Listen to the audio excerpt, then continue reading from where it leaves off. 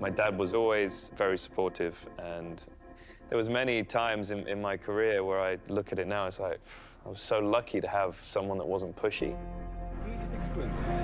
I'm not not arguing the procedure. If you want to appeal, you appeal. He is excluded.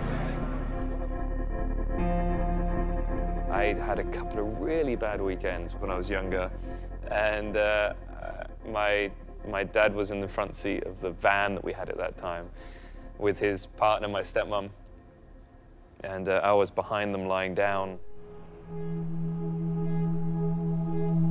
I think he thought I was asleep. And he said to my stepmom, I don't think he's got it. I don't think he's got that extra bit that he needs.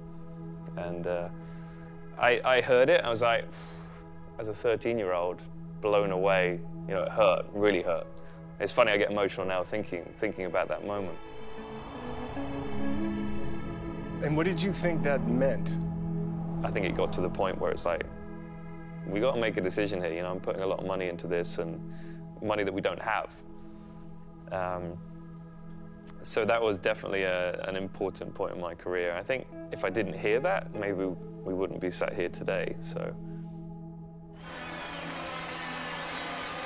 Well, Jenson, here you are, the champion. What's it like to have that laurel around your neck? It feels really nice. Did you ever think you were going to do it? no.